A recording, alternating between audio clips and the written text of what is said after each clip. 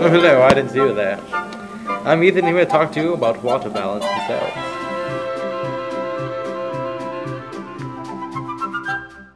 Now remember, there are two types of eukaryotic cells. There are animal and plant cells. Now for all of these cells, there are three types of environments. They're isotonic, hypertonic, and hypotonic. Now let's take a look at what happens when we place a cell without walls in these type of environments. In an isotonic environment, a cell immersed in this will have no net movement of water. That means the rate flowing into the cell is the same as the rate flowing out.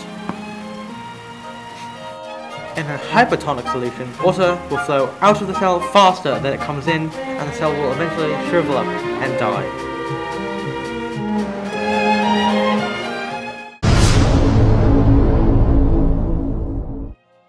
In a hypotonic solution, water will enter the cell faster than it comes out, bloating the cell, making it swell up and eventually burst and die.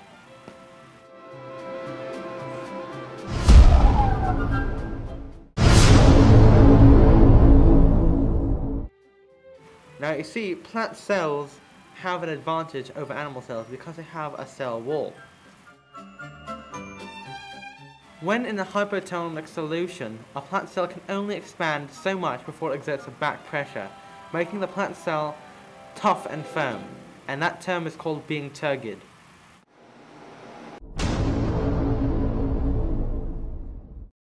However, a plant cell is not protected against hypertonic solutions. The wall means nothing.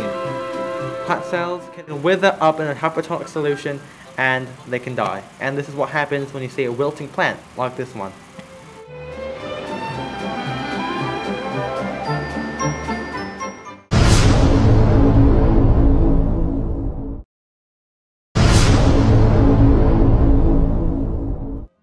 Well, I hope you learned something today, and Mr. Hays, you better give us an A because I'm talking a British accent, and that makes me smart.